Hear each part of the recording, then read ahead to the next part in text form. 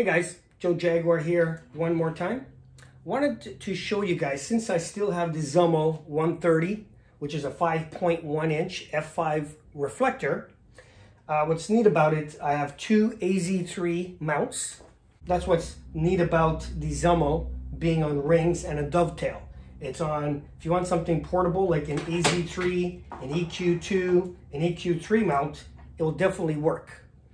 Okay, what would be my choice if I had the, the choice of buying a 5.1 inch, now let's forget about name brand, if it was a 5.1 inch reflector, parabolic, f5, against a 6 inch, so almost a full inch aperture more, because this is a 130, that's a 150, 5.1 inch, that's a 6 inch. So it's almost a full inch more aperture.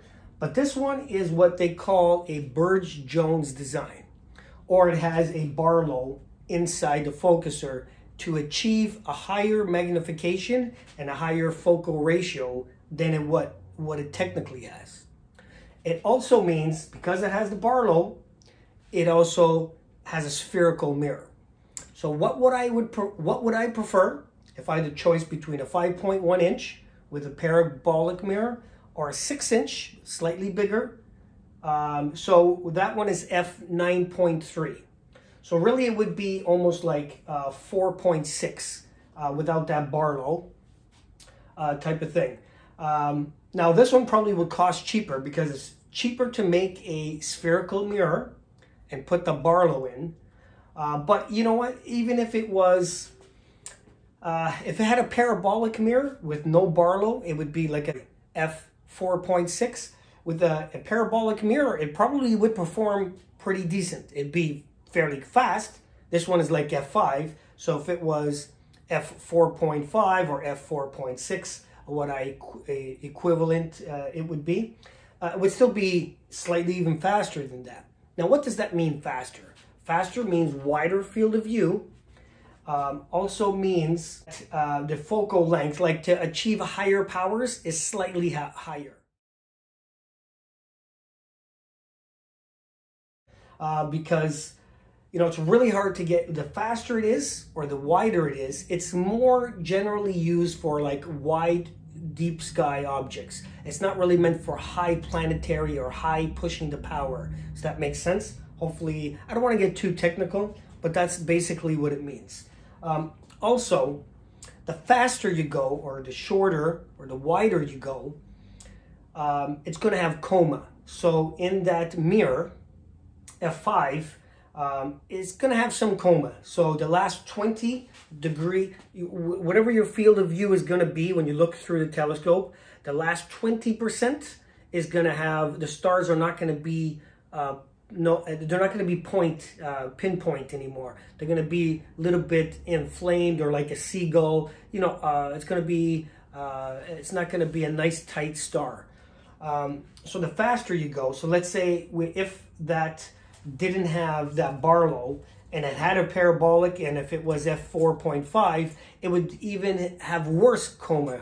Uh, you could correct uh, with a item called a coma corrector but they're fairly expensive. They probably do sell it for an inch and a quarter format, but like for a two inch format, you're probably looking at at least $300 for something like the lower cost ones. Um, so maybe for an inch and a quarter, I'm just guessing it could be a hundred bucks. Um, and that will correct um, for that coma. Uh, but okay, so this guy, you know, at F5, you really don't need uh, a coma corrector. It will have some coma towards the outer 20%.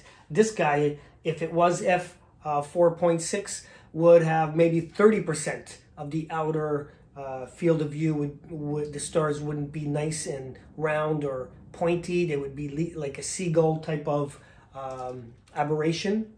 Um, so that's the one thing you guys got to remember. But it doesn't have a parabolic mirror. It has a spherical mirror, which is lower quality, and then the only re the only way to make it usable um, is to put that Barlow inside to amplify it from 4.6 to 9.3, trying to correct the image somewhat, but it doesn't always work. Um, in this design like that, going above 100 power or anything like that. The I, the planetary views. Uh, I mean, it says it has you know 1400 millimeter focal length, so it'll be easier to get the higher powers, but the image is not going to be so crystal clear. It's going to be more fuzzier, more uh, bloaty. Um, uh, it's just not going to be really as sharp. So that's what you get in a Bird-Jones design or a telescope with a Barlow in the focuser or an amplifier in the focuser. Yes, it's more, as you can see, this one is uh, a little thicker. So this one will collect about 27% more light than this will because it's thicker, has a bigger mirror. But again, this one is not going to be as sharp. So what would I prefer? If I had a choice between a Bird-Jones design, a 6-inch f9, or a 5-inch or 5.1-inch f5.